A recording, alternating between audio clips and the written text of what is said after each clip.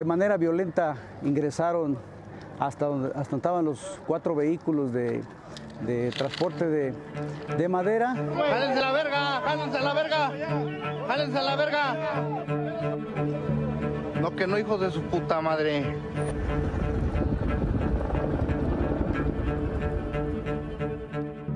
Y este, ya traían consigo eh, bidones con, con, gasolina y lograron este, aventar el, el, combustible a los, a los cuatro vehículos. Entonces es una manera de reaccionar ante, pues, ante la, la autoridad gubernamental para, para poder contener este, este ilícito. ¿no?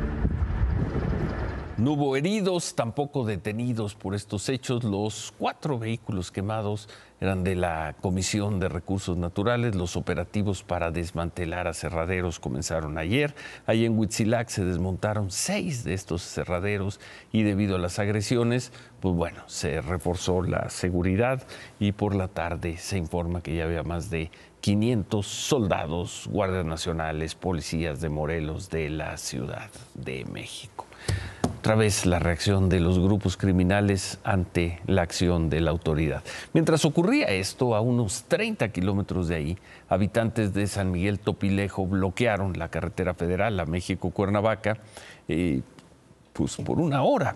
Eran familiares de los trabajadores de la Comisión de Recursos Naturales naturales que estaban en Huitzilac, que veíamos hace unos momentos, protestaban porque decían que estaban retenidos, pero luego se les informó que ya los habían liberado, que estaban bien y levantaron el bloqueo.